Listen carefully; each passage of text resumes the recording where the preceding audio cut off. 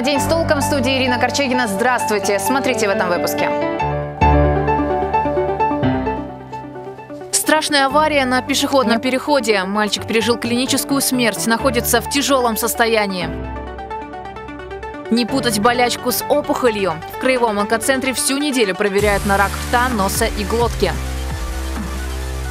Барнаульский монах, сибирский статный. Зачем дети и известные жители края разводят породистых голубей?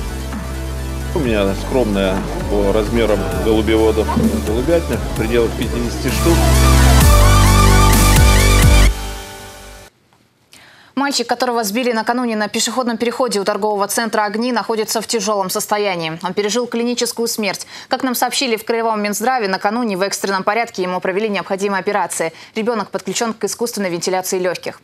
Авария произошла днем 15 сентября. Десятилетний мальчик с самокатом переходил дорогу по нерегулируемому пешеходному переходу. В этот момент на него наехал автомобиль Toyota Креста. По словам очевидцев, от удара мальчик пролетел несколько метров. Свидетели также говорят, что мужчина даже не пытался пытался затормозить. Полицейский сообщает, что водитель не имел, не имел водительских прав. Сейчас проводится проверка. К другой теме. В Барнауле начали долгожданный ремонт лестницы, ведущей в Нагорный парк. Накануне все входы туда были огорожены, доступ для гулящих ограничен.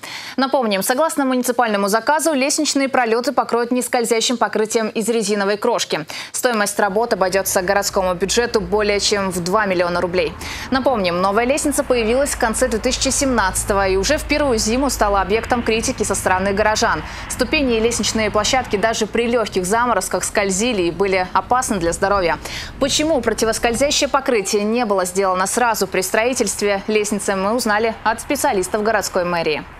Данные работы выполняли в рамках проектно-сметной документации, которая у нас прошла экспертизу.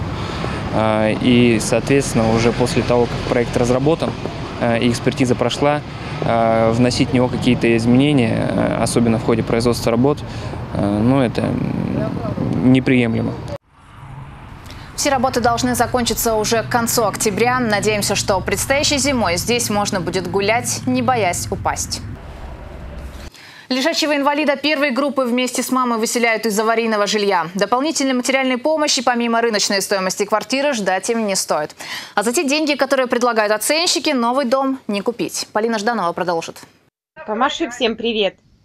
Всем привет, скажи привет, привет. Вот так, еще постарайся, еще пальцы разогни. После страшной аварии Артем Британов не встает. Уже три года парень и его семья тратят на лечение сотни тысяч рублей. Борются за жизнь, а теперь еще и за жилье. Артема и его маму выселяют. Дом аварийный. По оценке стоимости их жилье тянет всего на 590 тысяч рублей. Даже на самую маленькую квартиру не хватит комната не рассматривается, это однозначно. Получение просто денежной компенсации и покупка этой же какой-то комнаты, ну, это не просто. Я даже не могу представить, как это все будет происходить. Здесь хоть все маленькое, но свое. Чтобы Артем получал должный уход, нужен как минимум отдельный санузел, чего нет в коммунальной квартире. А получить жилье вне очереди, как инвалид, Артем не может. У него нет хронического тяжелого заболевания. И семья не признана малоимущей, а это одни из главных требований. К сожалению, э, в настоящее время это сделать очень сложно, э, поскольку у них уже есть жилое помещение э, и пенсия по инвалидности, которая, соответственно, будет превышать установленный МРОД Государственной программы поддержки, которая могла бы помочь Артему, на сегодняшний день не существует. Есть только один выход, который и предлагает семье Британовых городской комитет по ЖКХ. Для решения вопроса у нас в городе Барнауле э, есть социальная поддержка э, в соответствии со 161 решением Барнаульской городской думы, где они могут арендовать жилое помещение – до а, момента э, решения своего вопроса по переселению граждан из аварийного жилищного фонда. Но и на съемную Британова переехать не могут. Не каждый арендодатель переоборудует квартиру под инвалида. Поэтому пока Артем с мамой летают на реабилитации, их родственники борются за полноценные квадратные метры и пытаются сделать практически невозможное – оформить статус малоимущий. Тогда есть шанс получить ключи от квартиры, а не комнаты. Полина Жданова, Александр Антропов, Илья Халяпин. День с толком. В Барнауле бесплатно проверят на рак носа, рта и глотки. Сегодня в Краевом онкоцентре начали принимать жители региона, которых беспокоят боли или новообразования во рту и на губах. В течение пяти дней в клинике «Надежда» будут открыты три дополнительных консультативных приема врачей-онкологов. Специалисты проверят слизистые рта и носа. Даже такого осмотра достаточно, чтобы выявить онкологию на ранней стадии. Часто больные путают опухоли с обычными болячками, язвочками. В прошлом, в прошлом году у 150 жителей края выявили рак полости рта рта. Половина из них попали в руки онкологов уже на третьей или четвертой стадии. Если в полости рта появились болезненные ощущения, э, локальные, или язвочка, или э, наоборот образование, и все это в течение двух недель не проходит, то можно смело приходить. Прием, а, прием онколога проводится только по предварительной записи. Номер телефона вы видите на своих экранах. Первый юбилей отметил питомник голубей Краевого детского экологического центра. Ему исполнилось пять лет. В честь этого события здесь прошел День открытых дверей. На празднике в Голубятне побывала наш корреспондент Полина Жданова. Она расскажет, зачем люди тратят столько сил и средств, чтобы разводить породистых голубей. Во все времена голуби считались птицами мира. В древние годы их использовали как почтальонов. В советское время мальчишки гоняли голубей по крышам, пытаясь приручить. В современном мире голубь – это птица благородная, поэтому их разведение – целая культура.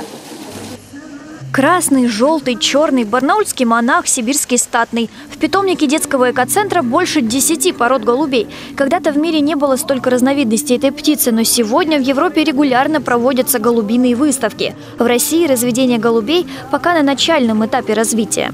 На выставках встречаю очень много из России, э, которые покупают голубей, привозят их, смотрят, как организованы э, выставки, э, как сам дух что там происходит.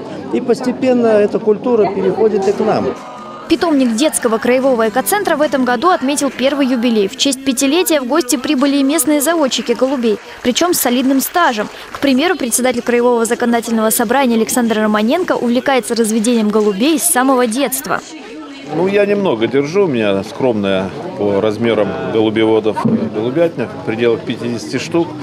Я считаю, мне это достаточно для того, чтобы духовно отдохнуть, да, я скажу, и физически отдохнуть, и в то же время э, позаниматься, насколько это позволяет, и селекцией. Как рассказали заводчики, голуби спокойные и умные птицы. Хозяина никогда не клюнут. Ухаживать за ними несложно, впрочем, как и разводить. Кстати, среди желающих сохранять и приумножать популяцию породистых голубей есть и школьники, но пока их немного. В экологическом центре детей учат ценить и любить эту птицу.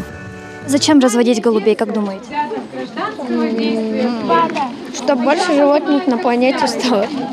Как культурные птицы. В столице, в Париже они считаются птицами Еще в Барнауле считается то, что вот голуби как э, экспонат, можно сказать. Между тем, голубеводы надеются, что скоро выставки птиц мира в России будут обычным делом. К тому же, наряду с попугаями, породистые голуби станут распространенными домашними питомцами. Ведь стоят они порой даже дешевле других пернатых – от 500 до 1000 рублей за особь. Полина Жданова, Александр Антропов. День с толком. Через несколько секунд о погоде. Спонсор прогноза компания «Эвалар». Подписывайтесь на наш канал в соцсетях и хороших вам новостей.